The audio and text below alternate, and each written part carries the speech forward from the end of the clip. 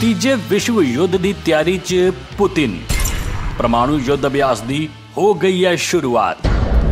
ਰੂਸ ਦੇ ਰਾਸ਼ਟਰਪਤੀ ਵਲਾਦੀਮੀਰ ਪੁਤਿਨ ਨੇ ਦੇਸ਼ ਦੀ ਪਰਮਾਣੂ ਫੋਰਸ ਨੂੰ ਅਚਾਨਕ ਅਭਿਆਸ ਸ਼ੁਰੂ ਕਰਨ ਦਾ ਹੁਕਮ ਦੇ ਦਿੱਤਾ ਹੈ। ਯੂਕਰੇਨ 'ਚ ਜੰਗ ਦੌਰਾਨ ਮਾਸਕੋ ਦੁਆਰਾ ਪਰਮਾਣੂ ਸ਼ਕਤੀ ਦੇ ਪ੍ਰਦਰਸ਼ਨ ਨੂੰ ਪੱਛਮੀ ਦੇਸ਼ਾਂ ਲਈ ਚੇਤਾਵਨੀ ਦੇ ਰੂਪ 'ਚ ਦੇਖਿਆ ਜਾ ਰਿਹਾ ਹੈ। ਪੁਤਿਨ ਨੇ ਵਾਰ-ਵਾਰ ਯੂਕਰੇਨ 'ਚ ਜੰਗ ਦੌਰਾਨ ਪਰਮਾਣੂ ਹਥਿਆਰਾਂ ਦੀ ਵਰਤੋਂ ਕਰਨ ਦੀ ਧਮਕੀ ਦਿੱਤੀ ਹੈ। ਹਾਲਾਂਕਿ ਉਹਨਾਂ ਨੇ ਕਿਹਾ ਹੈ ਕਿ ਇਹਨਾਂ ਦੀ ਵਰਤੋਂ ਆਖਰੀ ਉਪਾਅ ਵਜੋਂ ਹੀ ਕੀਤੀ ਜਾਏਗੀ। ਕ੍ਰੈਮਲਿਨ ਦੇ ਨੇਤਾ ਨੇ ਕਿਹਾ ਅੱਜ ਅਸੀਂ ਰਣਨੀਤਿਕ ਨਿਵਾਰਣ ਬਲ ਦਾ ਇੱਕ ਹੋਰ ਅਭਿਆਸ ਕਰ ਰਹੇ ਹਾਂ। ਉਹਨਾਂ ਦੱਸਿਆ ਕਿ ਪਰਮਾਣੂ ਹਥਿਆਰਾਂ ਦੇ ਨਾਲ-ਨਾਲ ਬੈਲਿਸਟਿਕ ਅਤੇ ਕਰੂਜ਼ ਮਿਜ਼ਾਈਲਾਂ ਦੀ ਵਰਤੋਂ ਦਾ ਵੀ ਅਭਿਆਸ ਕੀਤਾ ਜਾਏਗਾ।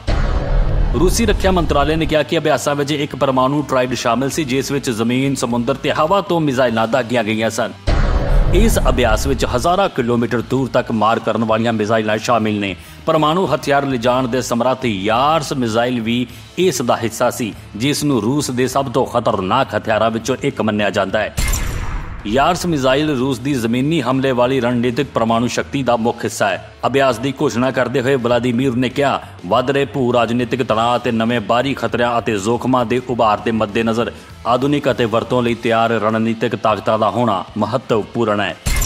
ਇਹ ਅਭਿਆਸ ਅਜਿਹੇ ਸਮੇਂ ਹੋਇਆ ਜਦੋਂ ਪੁਤਿਨ ਨੇ ਇਸ ਹਫ਼ਤੇ ਕਿਹਾ ਸੀ ਕਿ ਜੇਕਰ ਅਮਰੀਕਾ ਤੇ ਉਸ ਦੇ ਸਹਿਯੋਗੀ ਯੂਕਰੇਨ ਨੂੰ ਲੰਬੀ ਦੂਰੀ ਦੀਆਂ ਮਿਜ਼ਾਈਲਾਂ ਦਾਗਣ ਦੀ ਇਜਾਜ਼ਤ ਦਿੰਦੇ ਨੇ, ਤਾਂ ਮਾਸਕੋ ਜਵਾਬੀ ਕਾਰਵਾਈ ਕਰੇਗਾ।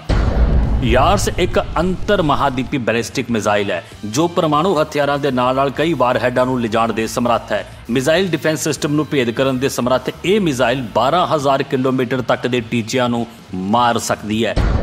ਇਸ ਦਾ ਮਤਲਬ ਇਹ ਹੈ ਕਿ ਇਹ ਅਮਰੀਕਾ ਤੇ ਬ੍ਰਿਟੇਨ ਤੇ ਵੀ ਹਮਲਾ ਕਰਨ ਦੀ ਸਮਰੱਥ ਹੈ। ਇਹ ਬਹੁਤ ਸਟੀਕਤਾ ਨਾਲ ਨਿਸ਼ਾਨੇ ਨੂੰ ਮਾਰ ਸਕਦਾ ਹੈ। ਇਸ ਨੂੰ ਮੋਬਾਈਲ ਲਾਂਚਰਾਂ ਜਾਂ ਸਿਲੋਜ਼ ਵਿੱਚ ਤਾਇਨਾਤ ਕੀਤਾ ਜਾਂਦਾ ਹੈ, ਜਿਸ ਨਾਲ ਇਸ ਦਾ ਪਤਾ ਲਗਾਉਣਾ ਤੇ ਨਿਸ਼ਾਨਾ ਬਣਾਉਣਾ ਮੁਸ਼ਕਿਲ ਹੁੰਦਾ ਹੈ।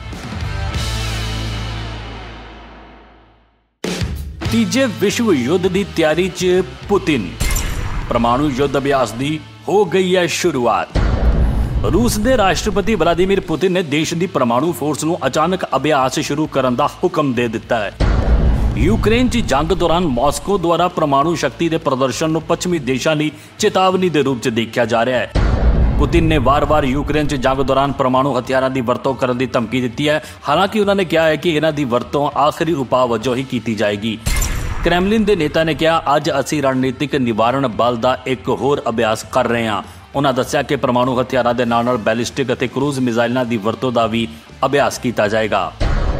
ਰੂਸੀ ਰੱਖਿਆ ਮੰਤਰਾਲੇ ਨੇ ਕਿਹਾ ਕਿ ਅਭਿਆਸਾਂ ਵਿੱਚ ਇੱਕ ਪਰਮਾਣੂ ਟ੍ਰਾਈਡ ਸ਼ਾਮਿਲ ਸੀ ਜਿਸ ਵਿੱਚ ਜ਼ਮੀਨ, ਸਮੁੰਦਰ ਤੇ ਹਵਾ ਤੋਂ ਮਿਜ਼ਾਈਲਾਂ ਦਾਗੀਆਂ ਗਈਆਂ ਸਨ। ਇਸ ਅਭਿਆਸ ਵਿੱਚ ਹਜ਼ਾਰਾਂ ਕਿਲੋਮੀਟਰ ਦੂਰ ਤੱਕ ਮਾਰ ਕਰਨ ਵਾਲੀਆਂ ਮਿਜ਼ਾਈਲਾਂ ਸ਼ਾਮਿਲ ਨੇ। ਪਰਮਾਣੂ ਹਥਿਆਰ ਲਿਜਾਣ ਦੇ ਸਮਰੱਥ ਯਾਰਸ ਮਿਜ਼ਾਈਲ ਵੀ ਇਸ ਦਾ ਹਿੱਸਾ ਸੀ ਜਿਸ ਨੂੰ ਰੂਸ ਦੇ ਸਭ ਤੋਂ ਖਤਰਨਾਕ ਹਥਿਆਰਾਂ ਵਿੱਚੋਂ ਇੱਕ ਮੰਨਿਆ ਜਾਂਦਾ ਹੈ। ਯਾਰਸ ਮਿਜ਼ਾਈਲ ਰੂਸ ਦੀ ਜ਼ਮੀਨੀ ਹਮਲੇ ਵਾਲੀ ਰਣਨੀਤਿਕ ਪਰਮਾਣੂ ਸ਼ਕਤੀ ਦਾ ਮੁੱਖ ਹਿੱਸਾ ਹੈ। ਅਭਿਆਸ ਦੀ ਘੋਸ਼ਣਾ ਕਰਦੇ ਹੋਏ ਵਲਾਦੀਮੀਰ ਨੇ ਕਿਹਾ, ਵੱਧ ਰਹੇ ਭੂ ਰਾਜਨੀਤਿਕ ਤਣਾਅ ਅਤੇ ਨਵੇਂ ਬਾਹਰੀ ਖਤਰਿਆਂ ਅਤੇ ਜ਼ੋਖਮਾਂ ਦੇ ਉਭਾਰ ਦੇ ਮੱਦੇਨਜ਼ਰ ਆਧੁਨਿਕ ਅਤੇ ਵਰਤੋਂ ਲਈ ਤਿਆਰ ਰਣਨੀਤਿਕ ਤਾਕਤਾਂ ਦਾ ਹੋਣਾ ਮਹੱਤਵਪੂਰਨ ਹੈ। ਇਹ ਅਭਿਆਸ ਅਜਿਹੇ ਸਮੇਂ ਹੋਇਆ ਜਦੋਂ ਪੁਤਿਨ ਨੇ ਇਸ ਹਫ਼ਤੇ ਕਿਹਾ ਸੀ ਕਿ ਜੇਕਰ ਅਮਰੀਕਾ ਤੇ ਉਸ ਦੇ ਸਹਿਯੋਗੀ ਯੂਕਰੇਨ ਨੂੰ ਲੰਬੀ ਦੂਰੀ ਦੀਆਂ ਮਿਜ਼ਾਈਲਾਂ ਦਾਗਣ ਦੀ ਇਜਾਜ਼ਤ ਦਿੰਦੇ ਨੇ, ਤਾਂ ਮਾਸਕੋ ਜਵਾਬੀ ਕਾਰਵਾਈ ਕਰੇਗਾ।